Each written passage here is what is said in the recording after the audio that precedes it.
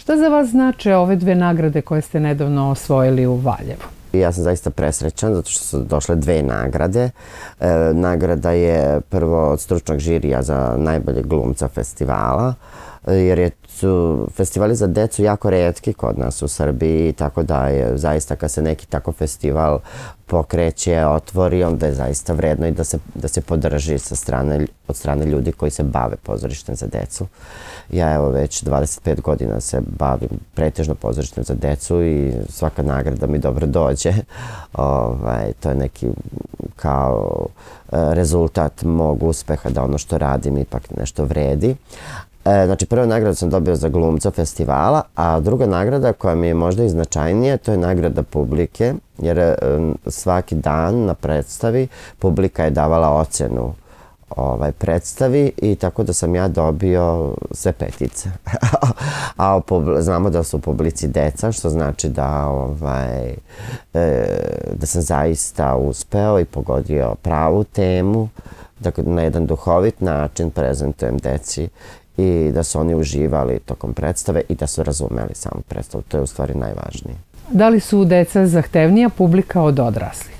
Pa nisu zahtevnija publika u smislu da, ovaj, znate, danas deci, ali su osjetljiva publika. Danas deci možete sve da plasirate i oni sve upijaju kao sunđer, eh, ali je jako bitno šta im plasirate. Deca su zaista jedna prazna hartija po kojoj odrasli pišu i sad je jako bitno šta se tu piše.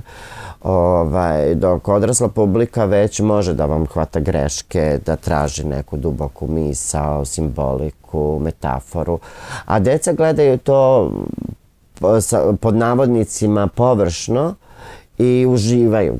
Oni su opušteniji u tome, znači oni žele da to bude duhovito, oni žele da to bude brzo, pogotovo danas kad, kad se nalazimo u vremenima TikToka, kompjutera, YouTubea, gdje su zaista protok informacija jako brz. I oni i u pozorištu očekuju te neka brza dešavanja, oni se, njima je smiješno kad glumac zapne, padne, štucne, dok u, u, za odrasle to može da bude degutantno ali je jako onda osjetljiva grupa zato što vi deci tačno morate znati šta im plasirate sa scene i na koji to način plasirate, da to mora, predstava dečja mora imati taj edukativni karakter i to mora biti na prvom mestu. Na drugom mestu mora biti prijemčivo njima, vrlo, vrlo lično, da vas oni prihvate, i e, mora biti duhovito, mora biti slikovito, znači ne može da e, glumac izađe u crnom kostimu, u crnoj kuti, da, da, da deci priča, prosto šta god da priča, to deci neće biti zanimljivo.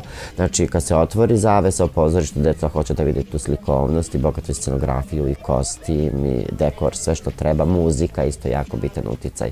Tako da oni sve to upijaju.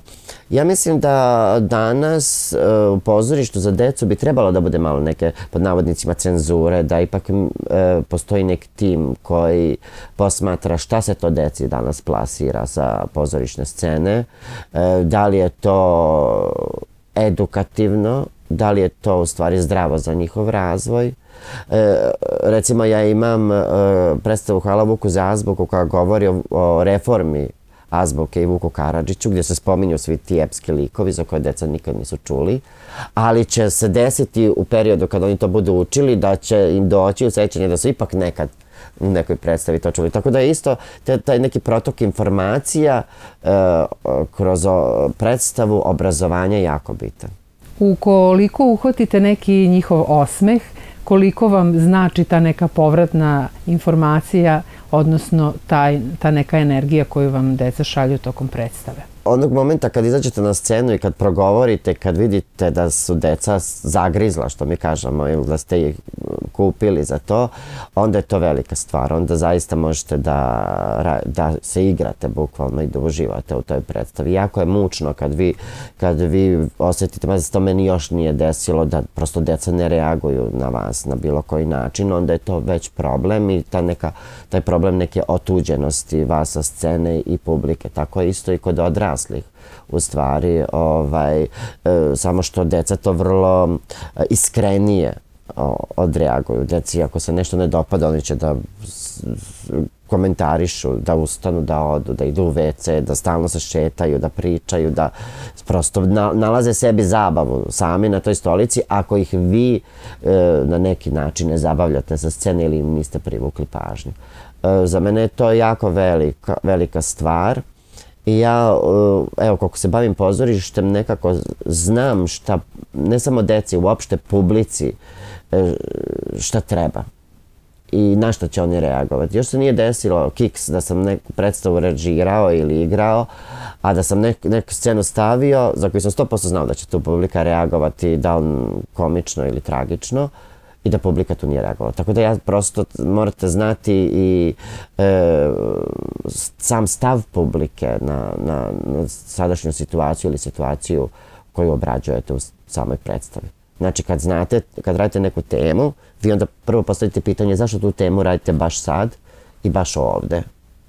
I kome vi pravite tu predstavu? Mislim, uh, ako radite predstavu Tramvaj zvani želja od uh, Tenisa Williamsa koji se bavi nekom američkom porodicom, pro, njihovim nekim intimnim problemima, mi postavljamo pitanje zašto bi to interesovalo publiku u Šidu ili u Srbiji kako živi jedna američka porodica u pozorištu, nas interesuje ono što nas okružuje, naš problem. E, mi se smejemo sobstvenim situacijama kad se prepoznamo. Na, najčešće se u tome smemo kad mi prepoznamo sebe u nekoj situaciji. Tako da treba u pozorištu da se postavljaju predstave koje se tiče našeg naroda i koje se tiče gledalca. Hvala vam na razgovoru.